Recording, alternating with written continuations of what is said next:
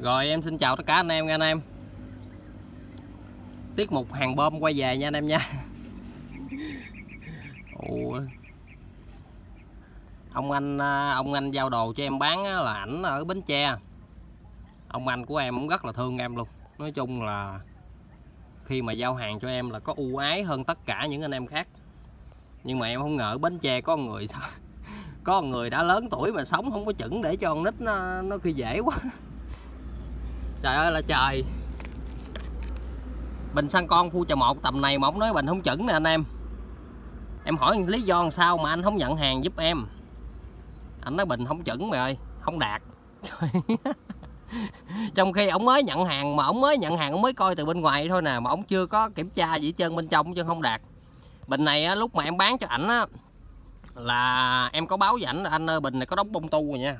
Đó bình tầm này mà nó không đạt nó biết bình nào đạt nữa, anh em phu chờ một mà nước nhôm tầm này nè mà nó không đạt. Em cũng chạy đạn luôn, thiệt sự. Mỗi trái ga luôn. Bởi vì em nói với anh em á, khổ lắm. Bán hàng mà người này người kia đâu phải ai cũng như ai. Đó. anh em, một số anh em người ta rất đàng hoàng nha anh em. Đặt hàng là người ta chấp có trách nhiệm với hàng của người ta đặt giao đúng hàng chứ đâu phải giao bậy bạ cho anh em đâu. Trái ga nè. Nói chung có chạy có dấu phớt phớt đây miếng phớt đây nhạn miếng anh em. Bình xăng con này đời 2000 nha anh em. Ấy không phải xin lỗi anh em nha bình này không phải đời 2000 anh em.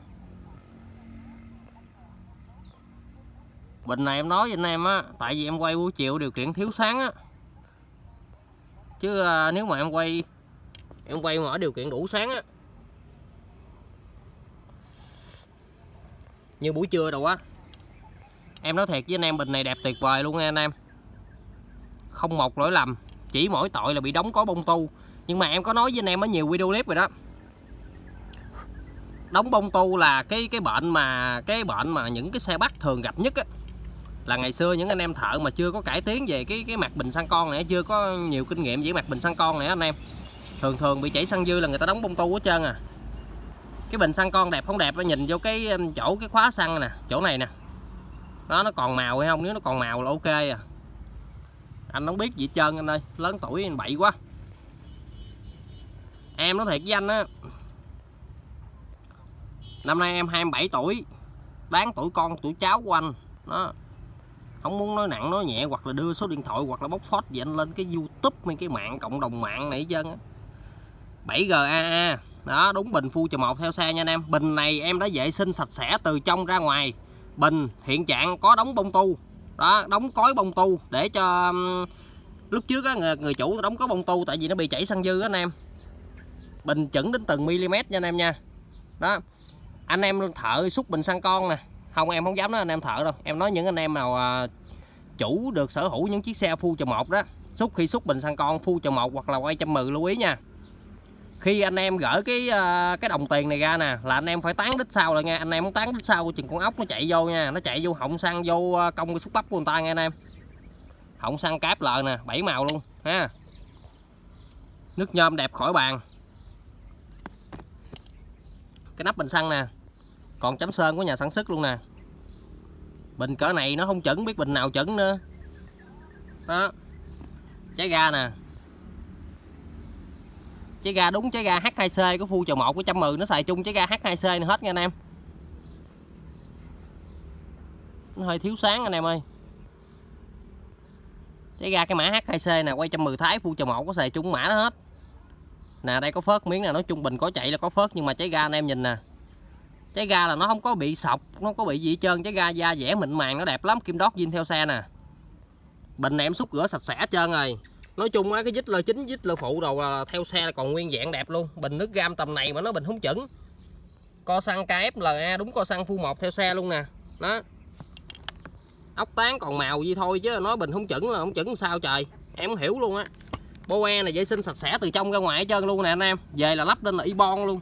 Nè boe ốc còn màu, cỡ này mà ổng nó bình không chuẩn đó em nói thiệt chứ hôm gọi lúc mà ảnh, lúc mà ảnh không nhận hàng là em rất là bực bội luôn á. Tại vì cái công sức của em đã bỏ ra, em đam mê em làm.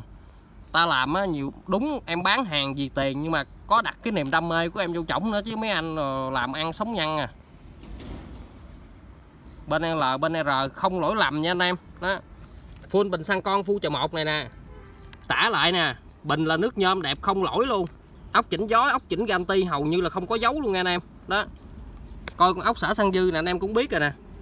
Ốc xả săn dư không có dấu gì nhiều luôn đó. Đó. Bình nhôm đẹp cực kỳ gì mà ông nói bình không chuẩn trời ơi là trời. Đó. Bình này tình trạng có đóng có bông tu, không có lai dít lơ. Dít lơ đang zin. Cháy ra đẹp. Full bình xăng con này em bán giá một triệu mốt. Không ship code, chuyển khoản đủ em giao hàng. Riêng bình xăng con này.